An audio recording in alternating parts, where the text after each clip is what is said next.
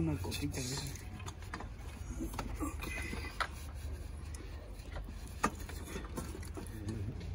Yeah, you can't look. You, also, yeah, you can take a picture. That's why they're not. That's why they're not a mechanic. Yeah. Here's my I, issue.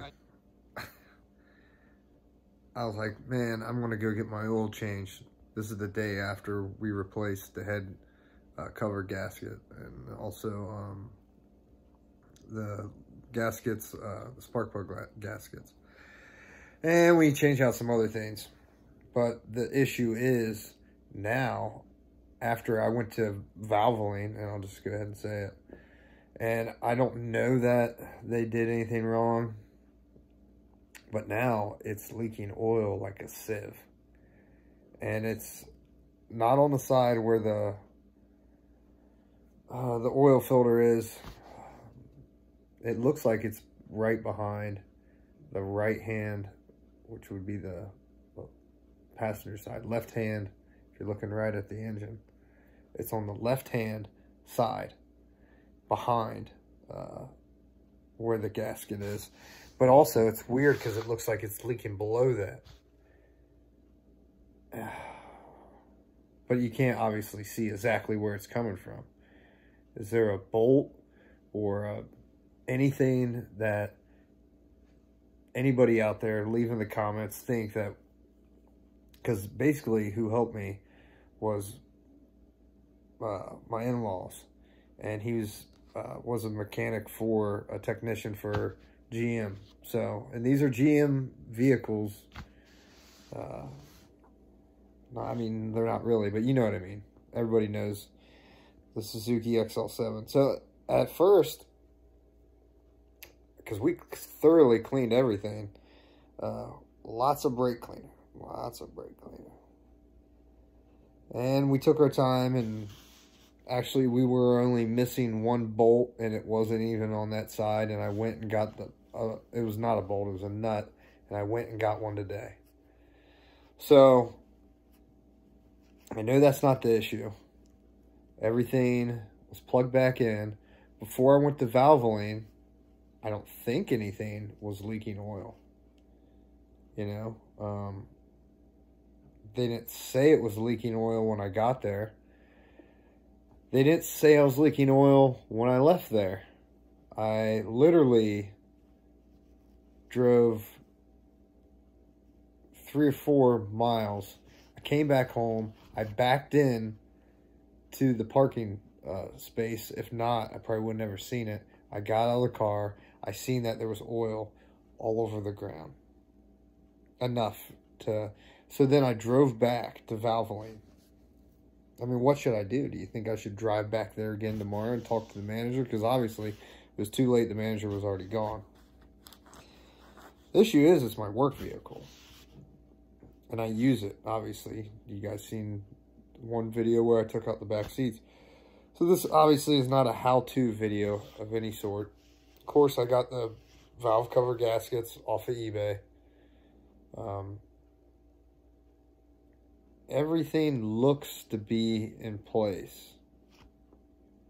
of course, it was getting dark, so um, so all I did was I went and put a you know an oil pan underneath the vehicle, so it won't get oil everywhere. People in the comments, please, the Suzuki, you know, uh, fanatics, gearheads, I need some help. I mean, uh, I mean, I tried to replace this because it was had a bad leak before, but it leaked so much to the point where it almost um, clogged itself up, if that makes any sense. And I thought the only, uh, if you were looking straight at the vehicle, the the one on the right was leaking. Well, come to find out when we took both of them off, both of them were leaking. So, now, it's leaking even worse. So, I mean, can you think of anything other than maybe the gasket being a little bit out of place or some of some sort? Um, it's a brand new gasket. So, if you could, anybody, please out there, help me. Uh, I know this isn't a very interesting video, but um, yeah, it is what it is. Uh, after I get this issue uh, taken care of, I'm going to do a complete overview of all the upgrades and mods that I've done to the uh, Suzuki XL7. So I love these cars. There's a reason why people don't, you don't see them on the road.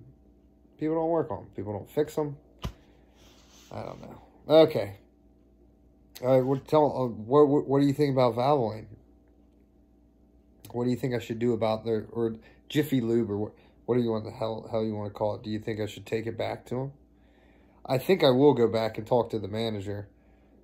The issue is, I don't know if I want to drive the vehicle there. It's not that far, but I don't know.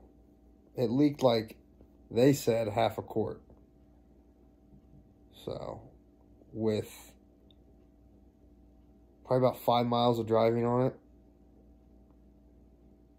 They got oil in my car. I don't know. I should know better than to take it to them. I was just waiting because one earlier in the point earlier months ago, they almost said they didn't want to change my oil. They didn't, but they still changed it. So luckily the one guy there had me pull in and he they double checked everything. They double checked uh, the drain uh, bolt and everything and I know I could put a put a video on where it's actually leaking, but I don't know.